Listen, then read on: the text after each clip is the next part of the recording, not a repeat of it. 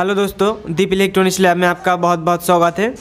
आज की इस वीडियो में मैं आप लोगों को बताऊँगा, ये जो टीवी के अंदर प्रॉब्लम आपको दिख रहा होगा, फ्लिकरिंग का प्रॉब्लम, और उसके साथ साथ आपको लाइनिंग और वाइट डिस्प्ले भी आपको थोड़ा थोड़ा देखने को मिलेंगे। सबसे पहले आप ध्यान से देखिए इस टीवी की प्रॉब्लम को, ये हमारा वीडियोकॉन का एलईडी टीवी है। तो देखिए, हमारे पास थोड़ा थोड़ा फ्लिकिंग कर रहा है हमारा डिस्प्ले और उसके साथ साथ थोड़ा सा लाइनिंग और उसके साथ साथ वाइट डिस्प्ले तो इसको ठीक करने का जो प्रोसेस है, किस तरीके से मैंने स्टेप बाय स्टेप फॉलो मतलब अप्लाई करके मैंने इसको ठीक किया हूँ, आपको बताऊँगा। क्योंकि ये जो अभी आपको दिख रहा होगा फुटेज ये फुटेज जब मेरे पास एस टी आया था, तब मैंने इसको रिकॉर्ड करके रखा था।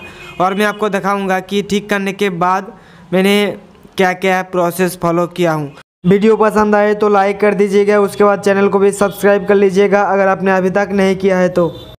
तो सबसे पहले आप इस टीवी का पैनल देखिए। यहाँ पे आप, यहाँ पे दिख रहा होगा पैनल का जो नंबर है, वो है एम ऑन नाइन फाइव मतलब उन्नीस पॉइंट फाइव इंच का ये पैनल है और इस तरह के अगर प्रॉब्लम किसी भी पैनल के अंदर आएँगे तो सबसे पहले आपको गेट वोल्टेज चेक करना होगा।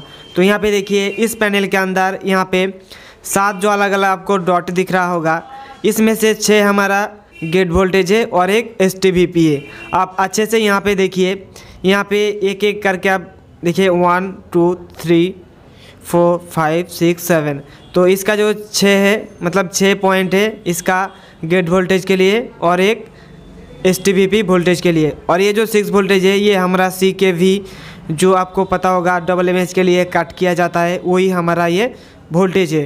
तो इस वोल्टेज को हमने किस तरीके से मॉडिफाई करके इस पैनल को रिपेयर किया हूँ, वो भी मैं आपको बताऊँगा तो वीडियो को आखिर तक देखते रहिए। और उससे पहले मैं आप लोगों को बता दूँगा बता दूँगा कि हमारे जो ट्रेनिंग है नेक्स्ट ट्रेनिंग वो मुंबई में है फेबररी दो हज़ार बीस में। तो अगर आप ट्रेनिंग लेना चाहते हो तो ऊपर दिया हुआ इस नंबर से आप कांटेक्ट कर सकते हो हमारे साथ। और उससे भी पहले हमने यहाँ पे देखिए, कुछ और चीज़ आपको दिखाना चाहूँगा कि बहुत ही अच्छी चीज़ें आपको देखने को नहीं मिलेगा किसी और वीडियो के अंदर।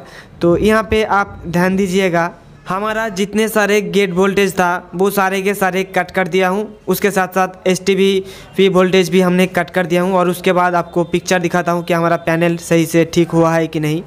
यहाँ पे देखिए, जैसे ही हमने जो गेट वोल्टेज था, जो छः अलग अलग तरीके का गेट वोल्टेज इस पैनल के अंदर था, वो सारे गेट वोल्टेज इसको हमने कट कर दिया हूँ लेफ़्ट साइड से।